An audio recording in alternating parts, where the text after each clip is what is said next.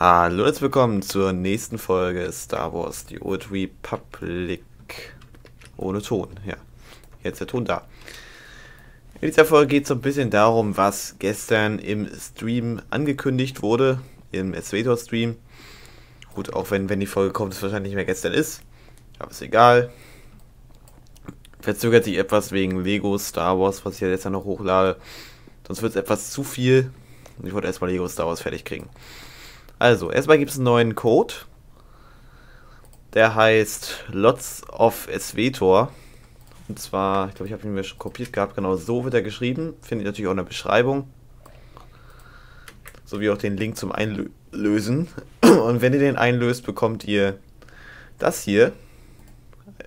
Deine neue Belohnung. Danke, dass du ein Mitglied der Star Wars The Old Republic Community bist. Viel Spaß mit deiner neuen Belohnung für deine Abenteuer in der ganzen Galaxis ein Werbeposter von Heta Kohl. Gibt's eins davon, man kann aber 50 haben und man kann es auch für die Gilde freischalten. Ist aber auch für ihn gebunden, also man kann es leider nicht in die Gildenbank direkt reinziehen. Und das Problem ist, dass wir 50 Charaktere nehmen, um die Dinger 50 mal voll zu kriegen. Gucken wir uns das erstmal an, wie das aussieht. Ja, Mando-Poster halt. Quelle Twitch Livestream Aktionsbelohnung. genau, holen wir uns das einfach mal ich werde es auch gerade mal irgendwo aufhängen. Habe ich jetzt so wenig noch Platz? Bestimmt nicht. Da oben hätte ich noch Platz. Äh, ja, ich renne gegen den Hocker, genau. Äh, Gibt es noch irgendwo was unteres, wo ich Platz hätte? Da. Festes Wohlstandsposter habe ich auch noch rumliegen. Äh, welche Kategorie ist denn das? Schilder und Poster, okay. Schilder, Poster. Belagerung der Jedi. Warte mal, war das jetzt überhaupt ein Poster? Ein Fanposter? Fanposter? Hier hängen Müll hier drin rumliegen. Ah, hier ist es. Genau, Werbeposter hinter Kohle. Kriegt gleich noch einen Eroberungsbelohnung. Diese, diese Quest ist übrigens auch sehr lächerlich, weil sie einfach sinnfrei ist. So, setzen wir da ein bisschen nach unten, dass wir es auch sehen können. Ja, nicht zu weit. Wir wollen es ja auch noch erkennen können. Zack. Ja. Sieht ganz nett aus. Also für eine Mando-Festung passt das bestimmt. Und wenn man dann noch 50 davon hat, man kann sich ja jedes, aus jedem Charakter kriegt man das jetzt ja zugeschickt. Irgendwann kriegt man auch so viel zugeschickt, dass man es einfach nicht mehr braucht. Naja, aber man kann ja niemals genug davon haben, ne? Ja, auf jeden Fall Code einlösen, dann bekommt ihr das Zeug. Und dann natürlich, das wird natürlich nicht das Einzige, was ich diese Folge mache. Ich möchte natürlich auch noch zeigen, was es dann im nächsten großen Update, was dann im Dezember wahrscheinlich kommt, ins Spiel dazukommen wird. Und da wechseln wir erstmal ins Internet. So, da werden wir Ankündigungen von Legacy of the Sith, also Vermächtnis der Sith, der nächsten Erweiterung für Star Wars, die Old Republic. Vom na, 1.7. heißt das, glaube ich, ist ein bisschen falsch rum. Englisches Datum halt. Also 1.7. soll das heißen, nicht 7.1. Also das ist nicht schon so alt. Wir freuen uns, die nächste Ära für Star Wars, die Old Republic ankündigen zu können. Ich mache das mal ein bisschen größer, dass man bisschen besser lesen kann. Die Feierlichkeiten anlässlich des 10. Geburtstags des Spiels beginnen mit Legacy of the Sith, einer neuen Erweiterung, die den Beginn eines ganzen Jahres voller galaktischen Intrigen, Konflikte und Geheimnisse markiert. Letztlich es Sith führt die Führer in die dunkelsten Tiefen und entlegensten Winkel der Galaxis und ermöglicht die Auswahl des persönlichen Kampfstils, der Möglichkeiten, mehr Möglichkeiten bietet, wenn es darum geht, eure eigenen Star Wars Fantasie zum Leben zu erwecken. Gibt es noch ein Icon für, wird wahrscheinlich auch dann noch bei den entsprechenden Folgen dann auch unter die als Thumbnail kommen oder ins Thumbnail, wo ich glaube, dass es später auch noch ein besseres Icon gibt, denn das hier hat, glaube ich, einen Hintergrund, ne? Ja. Ein anhaltender Konflikt. Der Krieg der Galaktischen Republik und dem Sith-Imperium bereitet sich auf neue Welten aus. Während sich in den dunklen Winkeln der Galaxis gefährliche Randgruppen erheben, verfolgt Darth Malgus weiterhin einen unbekannten Plan, lüftet dieses Geheimnis um mehr, wenn eure Entscheidungen erneut die Zukunft der Galaxis formen. Dann können wir auch noch die Spielweise verändern. Sehr praktisch. Wir führen Kampfstile ein. Spieler können ihre Klassenstory jetzt vom Gameplay-Stil trennen, um noch individuelleres Spielerlebnis zu schaffen. Also kurz gesagt, um es jetzt mal ganz einfach zu erklären, ihr könnt theoretisch mit einem Soldaten könnt ihr dann ein Scharfschützengewehr tragen. Oder eben auch wahrscheinlich sogar mit einem Soldaten auch ein Lichtschwert. Ich vermute jetzt einfach mal so. Oder hier eben auch, wie es hier beschrieben wird, Sith Inquisitor mit zwei Lichtschwertern. Oder auch eben mit Fähigkeit der dunklen Seite. Also irgendwie so ein totales Mischmasch von allem Möglichen. Also, dass einfach alle Klassen extrem zusammengemischt werden. Und die konnte ich dann aussuchen, was ihr davon haben wollt. So ähnlich wie in Kotor halt. Oder auch wie in wie heißt es noch gleich, Academy. Da konnte man das ja auch so ein bisschen die Fähigkeiten hin und her mixen. Da konnte man ja auch dunkle Fähigkeiten zu einem Jedi geben zum Beispiel. Aber ich glaube, Kotor ist ein besseres Beispiel für. Ja, und gewährt zusätzliche Anpassungsoptionen. Und man kann das eben wechseln. Wie man das auch immer wechseln kann, wird uns wahrscheinlich der PTS zeigen. Und dann geht es in die Tiefen des Meeres zurück. Mal wieder nach Manan. Manan hatten wir schon zweimal in dem Spiel gehabt. Einmal für geschmiedete Bündnisse. Für 55er Flashpoints war das ja. Das war ja der Manan Flashpoint. Mehr gab es ja auch so gesehen nicht. Und dann ja noch für die Festung. Sonst war der Planet ja zunächst zu gebrauchen. Das ist ja eigentlich ein Müllplanet, wo keiner hin will. Was wo auch nichts ist.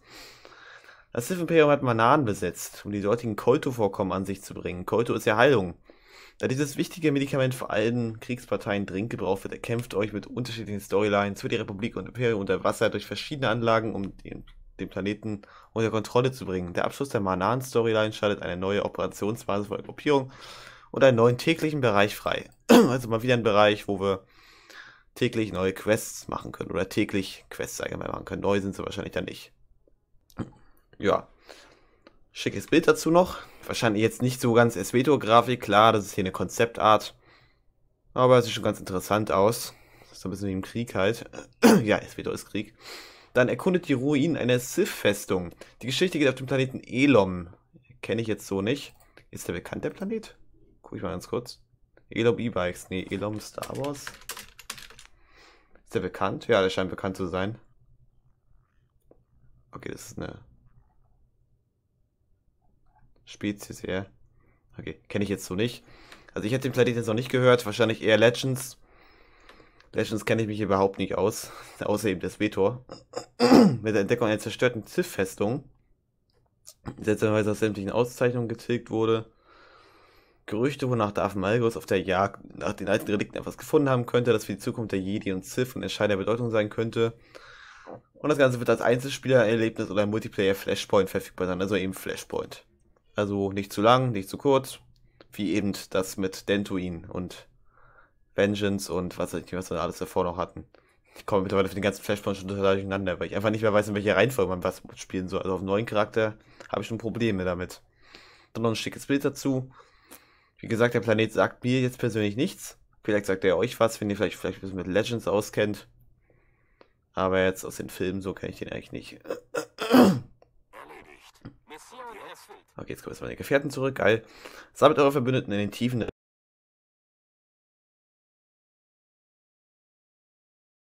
Waffe in der neuen Operation R4 Anomalie müssen Spieler ihre Verbündeten um sich scharen, um diese galaktische Bedrohung in den Tiefen des Alls abzuwehren. Okay, R4 Anomalie sagt mir jetzt auch nichts. Das Bild würde mir jetzt so direkt auch nicht sagen, erinnert mich so ein bisschen an den Planeten, wo R2D2 und C3PO da durchgegangen sind keine Ahnung, wie die Folge hieß. Es war, war irgendwann in der vierten Staffel, war das, glaube ich. Aber es erinnert mich auf jeden Fall sehr an diesen Bodenbereich da. Aber das ist, glaube ich, nicht. Das wäre ein bisschen zu komisch. Ich glaube, Unterwelt hieß die Folge, weil ich es gerade hier unten lese. Und das ist interessant, auch wenn ich das wahrscheinlich spielen werde. Schatten der Unterwelt. Legacy of the Sith startet die nächste galaktische Season. Schatten der Unterwelt, neue Belohnung aus dem Umfeld des Schattensyndikats, darunter Fensil, ein Revolverheld und der erste Duros-Gefährte in The Old Republic sind für alle Teilnehmerspieler verfügbar. Geil. Die neue Season bietet außerdem zahlreiche Verbesserungen des Spielkomforts auf dem Feedback der Spieler bezüglich unserer ersten Season im Spielupdate 6.3.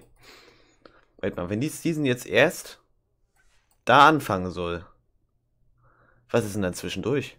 Weil nach der aktuellen Zeit würde September mit der Season Schluss sein. Was ist denn das dann? Was passiert denn dazwischen noch? September bis Dezember ist auch eine Zeit. Oktober, November fehlt dazwischen noch. Was passiert denn da? Haben wir dann gar keine Season oder ist dazwischen noch irgendwas? Also da gibt irgendwie wenig Sinn. Das weiß ich auch so noch nicht. Da ich, dass ich ja auch nicht mehr im EA-Chat drin bin, kann ich das jetzt auch nicht erfragen. Na, ist egal. Verbessertes Spielerlebnis. Oh, das hört sich gut an. Während wir uns dem 10. Geburtstag von The Old Republic nähern, werfen wir einen genauen Blick auf das allgemeine Spielerlebnis für Neueinsteiger und Veteranen. Diese Initiative beginnt mit dem Vermächtnis der Sith-Erweiterung. Hier steht so auf Deutsch. Wird aber im Laufe der ein Jahr andauernden Feierlichkeiten fortgesetzt. Die Spieler dürfen sich also auf völlig neue Charaktererstellung, eine neue Optik des Charaktermenüs, des Inventars und andere Elemente freuen. Das Inventar wurde schon so oft neu gemacht, ne? Charaktermenü wurde ja, glaube ich, einmal neu gemacht. Ne, ich glaube zweimal. Und Vermächtnis der Sith ist für alle Abonnenten kostenlos und startet an den Feiertagen 21. Weil die jetzt nicht wissen, was Feiertage heißt, das ist sozusagen Weihnachten. Ob jetzt genau Weihnachten sein wird, ist da jetzt mal dahingestellt, aber irgendwann im Dezember, sagen wir mal so Mitte Dezember. Ich glaube, müsste sogar fast Weihnachten sein. Ich glaube, irgendwie der 20. war es, glaube ich. Irgendwo zum Bereich 20. Also kurz vor Weihnachten kam ja Sveto mal raus. Also die 1.0 sozusagen. Und die Feierlichkeiten gehen natürlich auch noch weiter.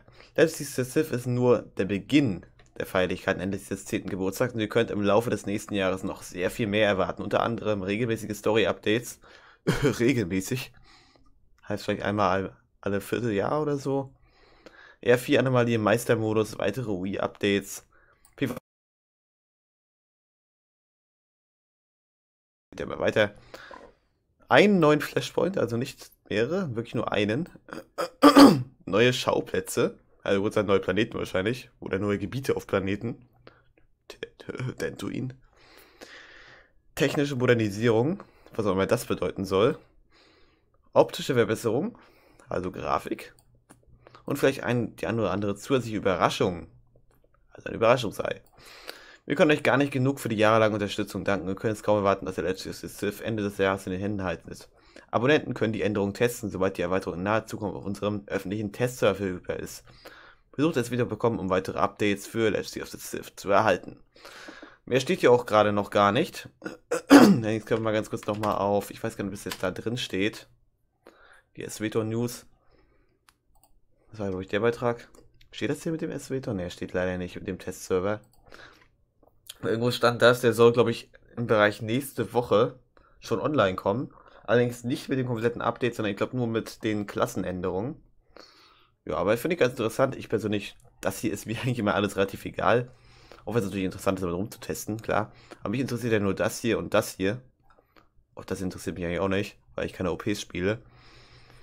Aber für die OP-Junkies wird es bestimmt was Geiles sein, gehe ich mal davon aus. Wie der Gefährte, kriegen ja wahrscheinlich alle. Hier auch jetzt der letzte Gefährte, den Arthur, wie auch immer der Typ hieß. Und Weihnachtsevent wird es wahrscheinlich auch wieder geben. Äh, das heißt wahrscheinlich, wird es auf jeden Fall wieder geben.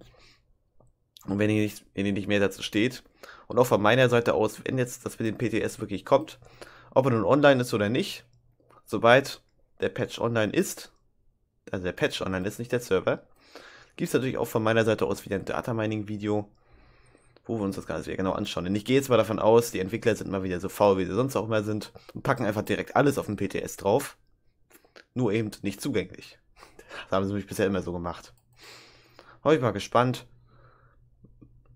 kann sein, wie gesagt, kann sein, muss nicht sein. Vielleicht wird es so einfach nur dafür geben. Vielleicht sind sie auch wirklich schlau und machen eben die Story raus aus dem PTS. Das würde ja auch tatsächlich Sinn machen. Denn ich glaube, mittlerweile wissen die Entwickler, dass die Tata-Miner sich das sofort raussuchen. Auf jeden Fall mich ist der Sith. Hört sich ganz interessant an, so ein bisschen Kotor ähnlich. Stimmt, Kotor habe ich irgendwas gelesen gehabt. Naja. Aber ich persönlich finde es geil. Zumindest diese beiden Teile hier, den Rest muss man sich so ein bisschen denken, was man jetzt hiervon halten mag. Es gibt auch viele, die fragen sich zum Beispiel, jetzt, was bringt das? Oder kann ich das immer wieder hin und her wechseln? Oder muss ich mir jetzt für eins entscheiden und muss ich das dann so lassen? Oder wie soll das dann sein? Ich denke mal, das werden wir uns dann alles auf dem PTS anschauen können. Das hier soll ja schon verfügbar sein.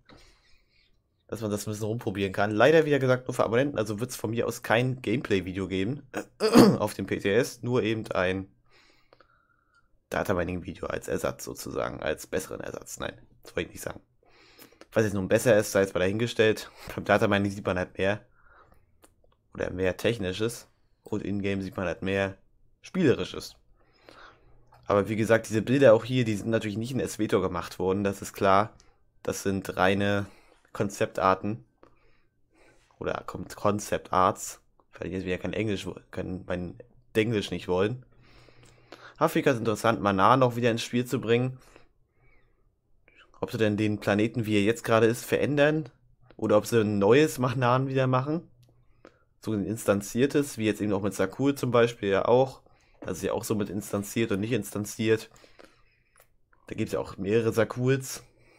Aber sind ja eine andere Geschichte, auch unwichtig. Ja, wie gesagt, neues Update. Könnt ihr aber in die Kommentare schreiben, was ihr davon haltet. Storytechnisch nehme ich immer alles gerne an. Was die jetzt eigentlich natürlich meinen, jetzt mit regelmäßige Story-Updates, weiß ich jetzt eigentlich auch nichts. Da kann ich jetzt auch nichts zu sagen. Denn das, was wir letztes, was wir dieses Jahr hatten, das waren bestimmt keine regelmäßigen Story-Updates. Das war einmal alles halbe Jahr oder so, oder alles Vierteljahr. Jedes Vierteljahr. Das, naja. Aber irgendwie so wie es damals war, irgendwie alle paar Wochen ein neues Kapitel, wie jetzt bei Fallen Empire zum Beispiel. Das würde ich ganz geil finden. Dann halt immer wieder was Neues zu spielen. Und es auch ein bisschen länger ist. Also nicht nur irgendwie fünf Minuten spielen. Oder so wie es aktuell ist, kriegst du ja bei jedem kleineren Update kriegst du eine kleine neue Sto neuen Story-Part. Ja, eigentlich, das ist eigentlich auch total unnötig, aber es ist eben einfach da, dass man eben ein bisschen weiter zocken kann. Aber naja, neue Story, ich denke mal auch davon aus, neues Maximallevel dann, dass man dann noch bis 80 leveln kann. Auch wenn dazu jetzt bisher hier nichts gesagt wird. Ich habe auch den Stream durchgeguckt. Ich gucke ihn mir auch nicht mehr an, weil das einfach sinnfrei ist.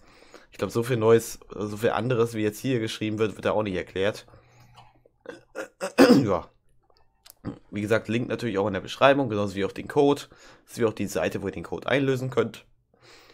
Und natürlich auch könnt ihr natürlich wie immer habe ich jetzt natürlich schon jetzt zugemacht hier, in swtnews.de könnt ihr natürlich auch folgen. Entweder per RSS-Feed, könnt ihr einfach raufklicken. Ja gut, muss ich wahrscheinlich kopieren den Link. Oder auch zu Discord hinzufügen, ist auch einfach. Einfach hier den entsprechenden Webhook-Link einfügen. Wer, Discord, wer einen Discord-Server hat, weiß, was das ist. Aber ganz praktisch. Oder auch wenn ihr die Seite unterstützen wollt, könnt ihr auch gerne auf Amazon. Okay, das mache ich jetzt mal nicht auf. Sonst sieht man nachher den Namen. Auch gerne was einkaufen. Das ist natürlich auch völlig umsonst, also ihr bezahlt da nicht mehr oder so. Aber damit unterstützt ihr halt die Seite so ein bisschen. Naja. Habe ich wieder viel sagen gequatscht und auf jetzt hin und her gescrollt. Und ihr könnt ja mal in die Kommentare schreiben, was ihr davon haltet. Euch aber Zeit und möge die Macht, dass ich weiter sein. Ciao.